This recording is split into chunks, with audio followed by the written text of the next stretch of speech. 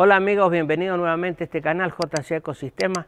Hoy día les voy a mostrar un motor que voy a restaurar para hacer un vehículo eléctrico y lo voy a desarmar y le voy a mostrar cómo vienen hechos. Estos son motor antiguo que son generadores y motores al mismo tiempo. Yo ahora lo voy a desarmar y vamos a hacer un par de pruebas para que ustedes eh, vean cómo funciona. Yo ya lo tengo con los tornillos flojos, por supuesto, para no perder tiempo.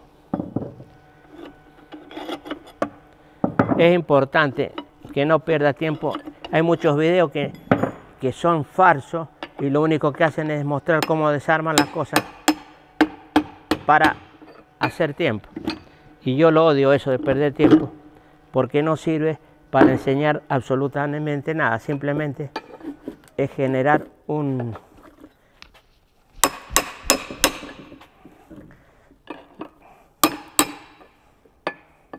Estoy sacando la tapa para sacar el inducido, que es importante que lo veamos. Ahí está. Ahora voy a sacar el inducido para que vean cómo es. Mire qué motor espectacular. Este es el inducido.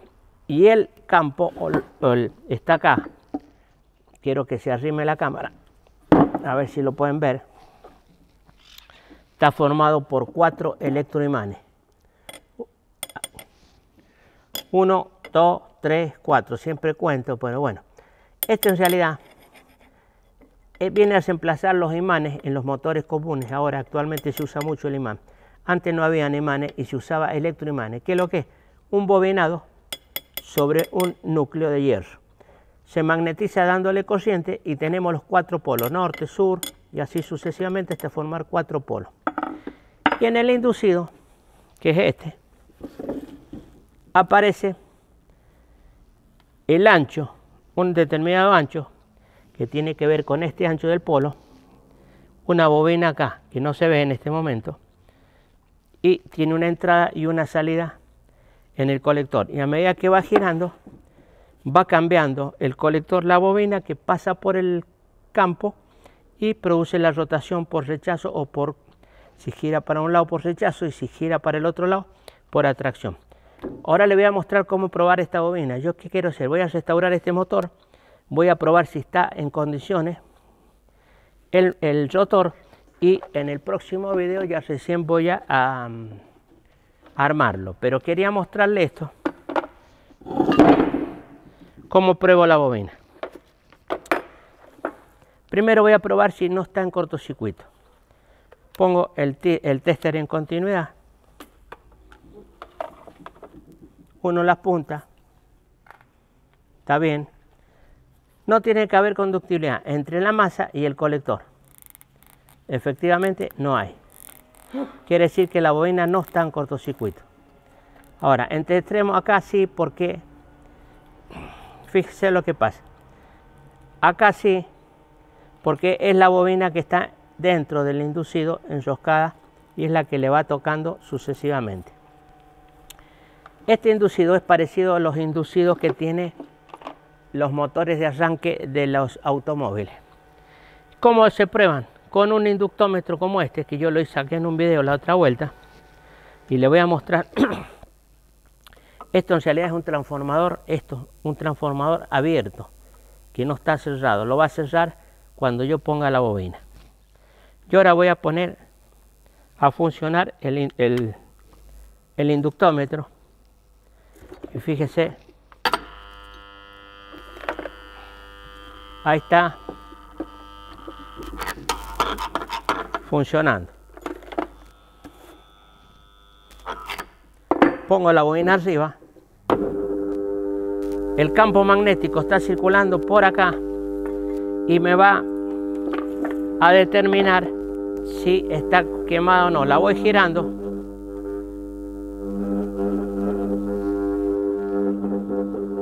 Y con una chapita que voy a poner acá, y yo voy girando, si esto no vibra, la bobina está buena. No está vibrando en absoluto. Es pesada la bobina. Está buena. Bueno, vamos a hacer otra prueba más. Vamos a ver si está induciendo a cada una de las bobinas el campo. Mira la fuerza que tiene. Vamos a hacer otra prueba. Le voy a mostrar algo. Ahora lo saco porque dejó de, de funcionar el campo magnético. Vuelvo a poner el campo magnético. Le voy a mostrar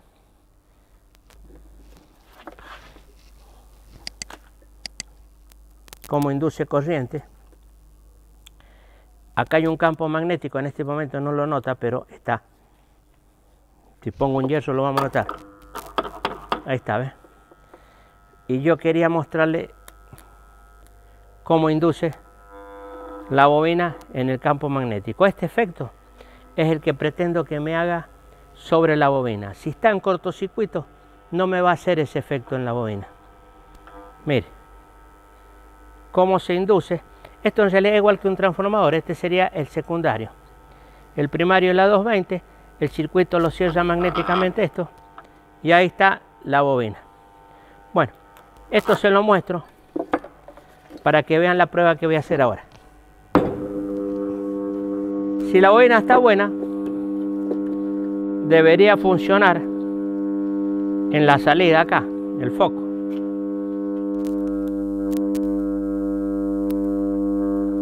Mire. Ahí me va dando el punto. Ahí está fuera el punto, ahí está el punto. Cuando la bobina coincide exactamente debajo, ahí me va marcando, ahí no hay ninguna bobina, por eso no marca. Cuando pasa para acá, coincide con la bobina que está en el campo. Ahí baja, ahí me marca los cuatro polos, ¿ves? Estoy tocándolo, no me da corriente. Le explico eso porque también hubo una discusión sobre el tema de la corriente voy a poner el voltímetro en corriente a ver qué, qué voltaje hay.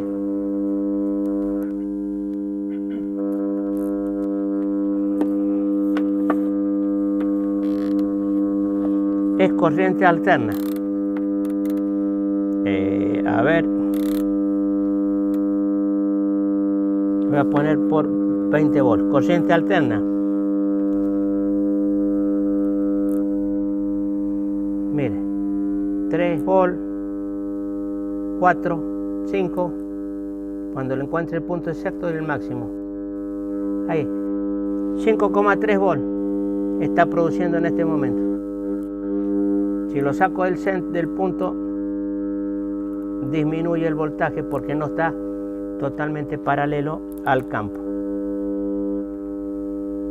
Mira, y lo toco y no me da corriente porque le expliqué que 5 volt, 3 volt no producen ningún efecto en el ser humano. Como ustedes vieron, yo tocaba acá y no me daba corriente porque eran 5 volt. ¿Qué pasa? Para que mi cuerpo sea conductor tiene que haber un voltaje mucho más alto, por lo menos 50 volt. Ese es el problema. La piel es aislante para esos voltajes, para 12 volt, para 8 volt, para 5 volt. Yo la experiencia que tengo, he tocado muchas baterías, toco pila, toco de todo y no me pasó nada. Yo sé que hay mucha gente que son, están dedicados a la parte de seguridad industrial y son hilan mucho más fino que lo que está bien lo que están haciendo, pero tampoco nos vamos al extremo. 5 volt no hacen mal a nadie. Y recién de los 50 volt para arriba ya empieza a haber un pequeño problema. Y hay gente que soporta mucho más voltaje. Esto es una cuestión de cuidado y de hacer las cosas bien. En el próximo video lo armo. Ahora yo lo que le mostré es qué, qué tenía adentro, cómo funciona. Yo lo voy a armar y lo voy a hacer andar. Hasta la próxima.